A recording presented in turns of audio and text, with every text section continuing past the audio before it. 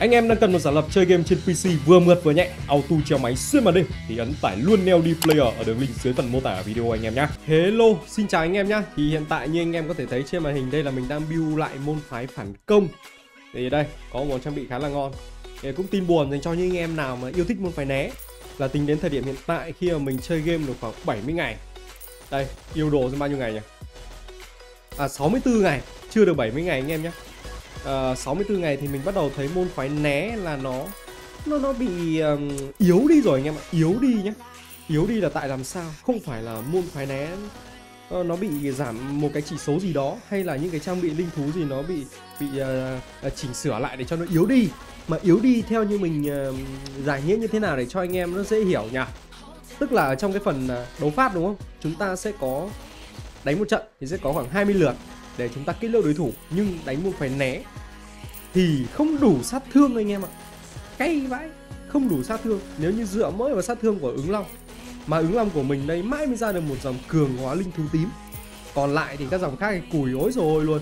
Nếu như anh em nào mà có cường hóa linh thú cam, cường hóa linh thú lem, cường hóa linh thú thím ba dòng đấy thì may ra là còn thấy ứng long nó khỏe, chứ còn như mình đây là mình thấy môn phái né nó yếu thật rồi đấy lại còn thêm quả đồng hành là huyền vũ này thôi phun thủ thì ok chứ còn tấn công thì cũng chả đánh được ai nói thật luôn trong cái phần mạo hiểm cũng tương tự như vậy luôn anh em nhé Ừ, nếu như trong phần mạo hiểm mà chỉ dựa vào ứng long thôi thì đi vượt ải nó chỉ có 15 lượt cũng chả đánh được.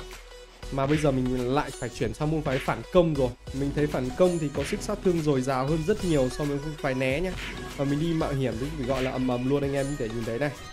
Đấy, hôm trước thì mình đang bị kẹt à, 9 chấm mấy á, mà đeo môn phái phản công vào cái mình có thể đánh à, yêu lực của mình là 9 ức đúng không? Mình có thể đánh được những ải tầm 12 13 ức như này là vẫn ok này. Tiếp tục nha anh em. Đây là mình đang đeo môn phái phản công đấy nha.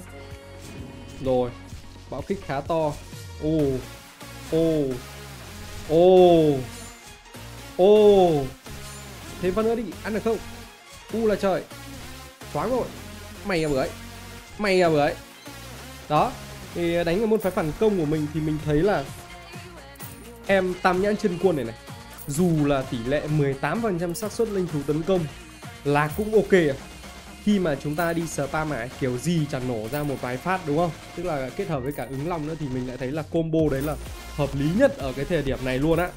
Nó có thể gây ra được rất là nhiều sát thương. Đây anh em không tin thì cho anh em xem luôn ở trong phần tự động cài đặt của mình là mình đang all in ở môn phải né rồi thì cho nên là mình đang cài đặt là dừng khi yêu lực trang bị tăng đồng thời. Thuộc tính là phản công thì mình mới lấy. Còn lại những trang bị khác thì mình vứt luôn. Đó. Còn cái tự động nhặt này thì không phải là nhặt những cái món này đâu nha mà nó tự động nhặt là nhặt những cái như kiểu là uh, đây này. Đây này. Vé khiêu chiến này. Rồi thì đạo thư này.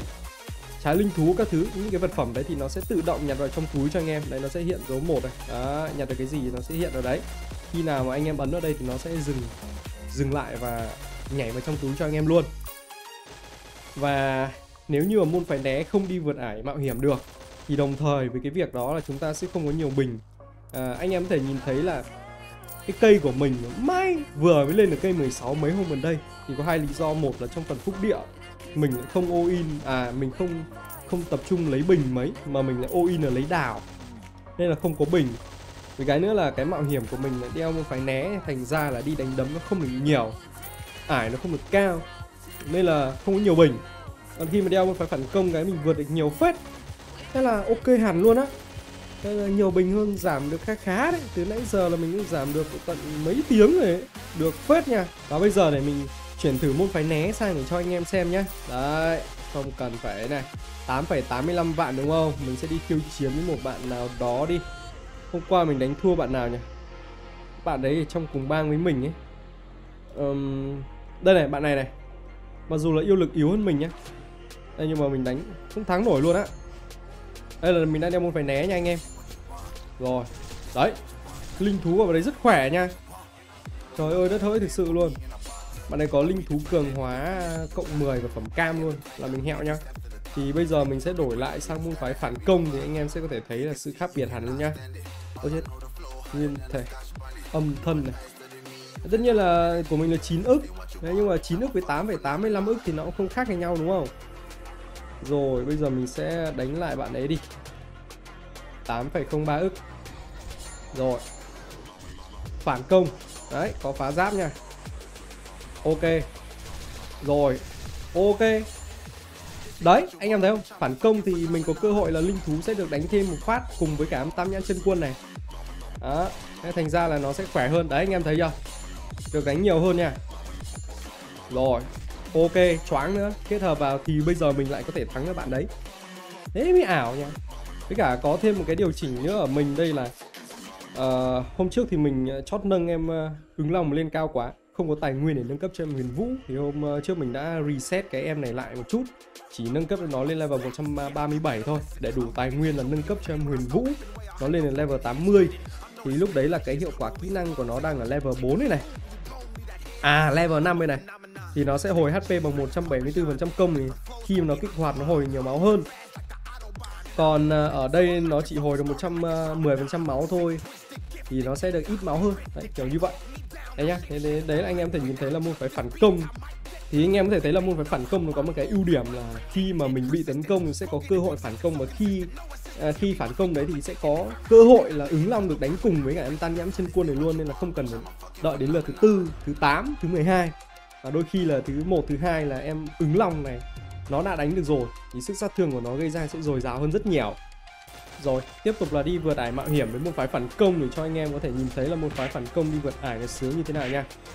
Đó. Đấy huyền vũ hồn nhiều máu anh em.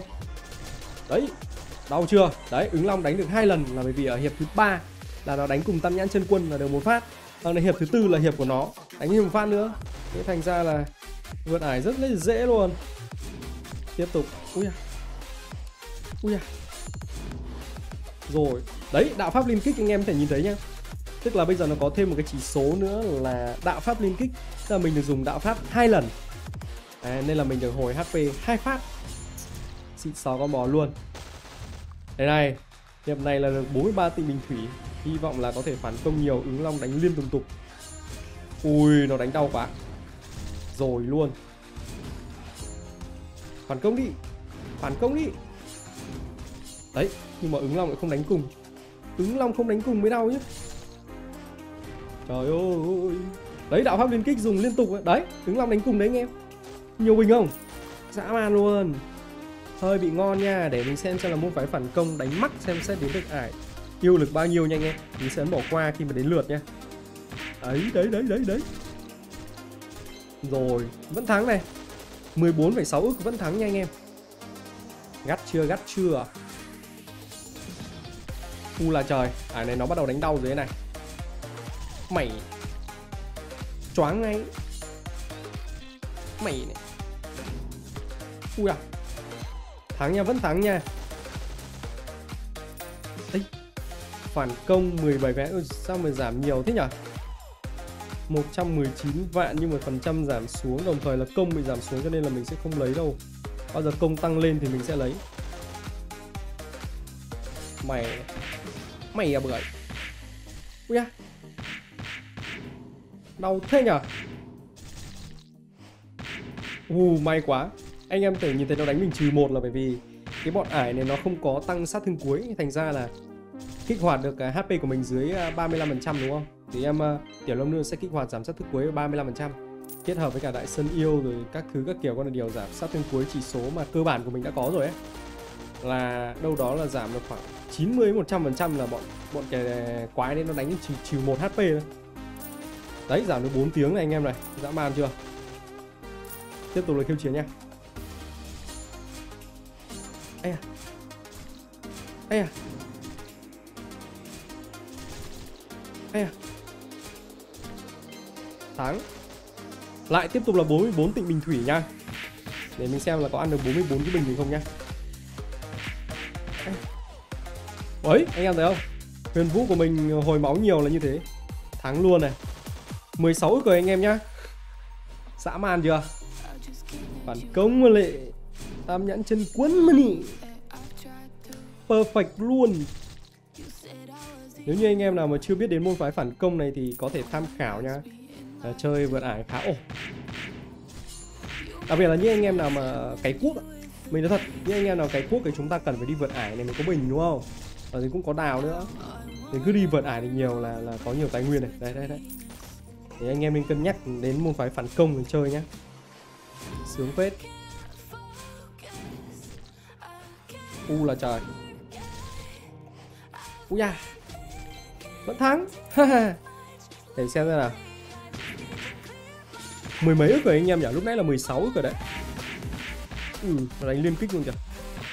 Nhưng mà không sao, trừ một thì ăn nhầm gì? Họ vẫn thắng này 45 tịnh bình thủy nữa này anh em này. Gặt đấy. Kinh. Chọc chọc chọc. Chọc chọc chọc. Mày nhà bưởi Cho mày liên kích.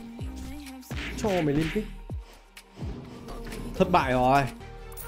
Nhưng, Môn phái phản công nó lại có một ưu điểm là Đôi khi thất bại nhưng chưa phải là thất bại Mà thất bại chỉ là lượt đấy thôi. Và chúng ta cứ chịu khó spam ải một tí là có khi hên nó đánh tướng long đánh được nhiều ấy. Nó lại thắng được anh em ạ. Ờ ảo thế. Ok lại thêm lần nữa nha anh em. Ui rồi ôi. Ui rồi nhưng mà đánh ba lần rồi không qua được. Thôi tạm dừng ở 18,5 ức nhá. Nhìn chung là đánh được ải gấp đôi được chiến anh em ạ. Cái gì đây? Chu tước. Ủa rõ là mình bảo là ra được huyết mạch bạch hổ thì mới dừng lại mà ngáo à? Hoặc này. Ờ. ảo thật đấy. Ờ. Cay thế nhở? Thôi rồi tạm thời như vậy anh em nhé thì uh, hôm nay mình cũng review cho anh em về môn phái phản công cũng như là chia sẻ với anh em một chút về cảm nhận của mình về môn phái né. Thì uh, anh em có thể tham khảo nhé chúc anh em chơi game vui vẻ. Và nếu như anh em chưa đăng ký kênh, thì đăng ký kênh để ủng hộ mình nhé cảm ơn anh em rất nhiều. Còn giờ thì xin chào và gặp lại anh em. Bye bye.